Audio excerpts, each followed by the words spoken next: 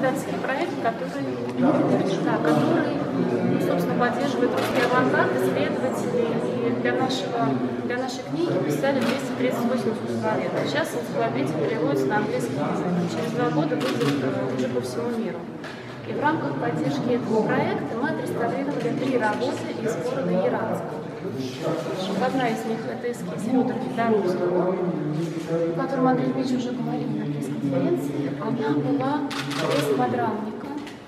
Соответственно, все ее края, ну, даже ее размеры были указаны другими из-за того, что она не находилась на квадратнике. Ее состояние не предполагало возможности показать ее на выставке. Такое же состояние было прекрасно лежащей женщины на первом этаже, мимо которой проходили наверняка заметили. И третья работа, которую мы отреставрировали в выставке, это маленький эскиз Лученко, который будет дальше, о котором Андрей уже сказал, что его никто никогда не видел. А реставрация проходила летом в Москве, мы ее завершили, и эти работы благополучно приехали в Екатеринбург, чему мы очень рады. Еще э, к выставке был сделан таймлайн.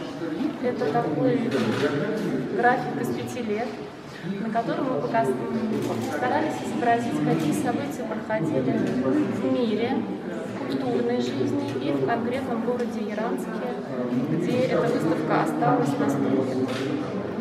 Таймлайн находится на первом этаже, и он также размещен в каталоге. В каталоге размещена вся информация о выставке, все научные открытия, биографии очень интересные статьи наших кураторов.